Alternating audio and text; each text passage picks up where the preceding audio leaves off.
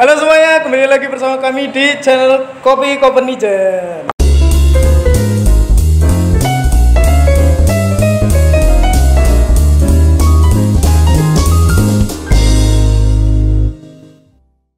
Jadi di video kali ini aku mau menantang dua barista ini. Kenalan dulu dong. Aku Denny. Wanisa Jadi aku mau nantang mereka buat eh, challenge. Challenge-nya namanya ada di sini.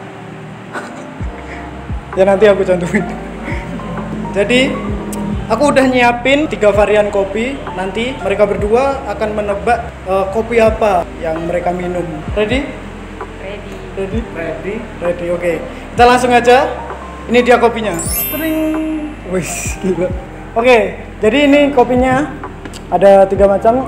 Udah kita kasih nomor dan masing-masing kopi ini berbeda rasa, beda varian.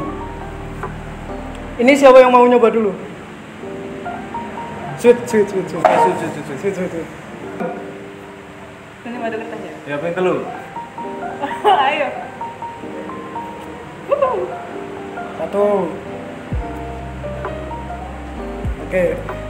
Yang duluan, berarti yang kalah apa yang menang? Kalah dong. Yang kalah. Oke, Adisa duluan ya.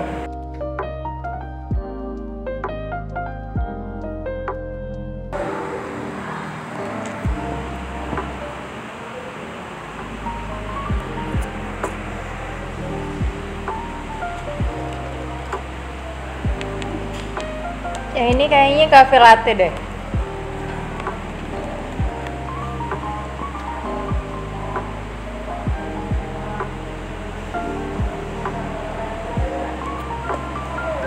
Yang ini sweet latte.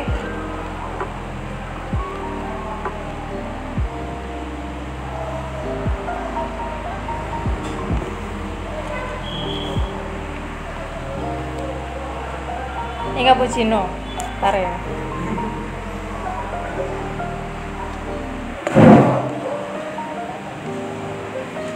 Udah, mau ngunci jawaban. Yang ini, ini cafe latte, ini sweet latte ijen, yang ini cappuccino.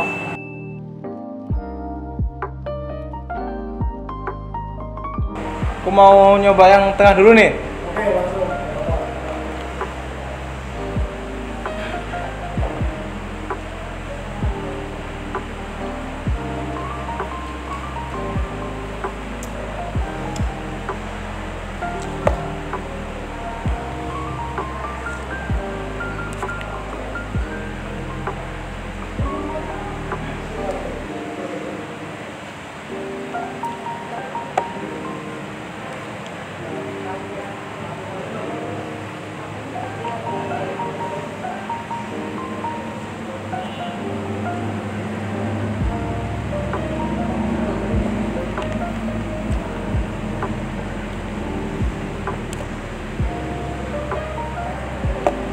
Yang tengah nih udah jelas banget nih, soalnya ini signatur dari kita nih, sweet latte.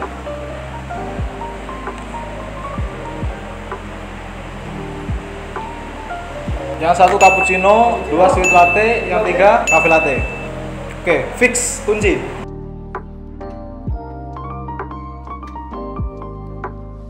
Oke teman-teman, jadi kita udah punya jawabannya ya. Tadi aku udah catat jawabannya teman-teman. Anissa jawab nomor satu. Ya betul. Nomor satu adalah cafe latte. Yang nomor dua adalah sweet latte. Yang nomor tiga adalah cappuccino.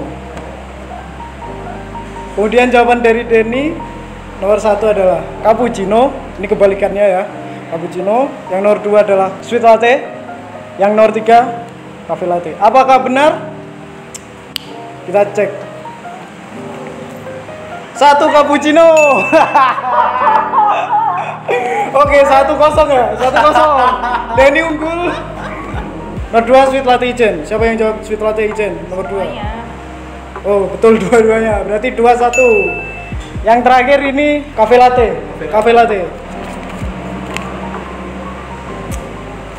Oke. Kita udah tahu pemenangnya siapa yang barista di Kopi Copenhagen ini. Eh, enggak semua sih karena baristanya banyak. ini cuma dua orang yang aku ajak eh, challenge ini.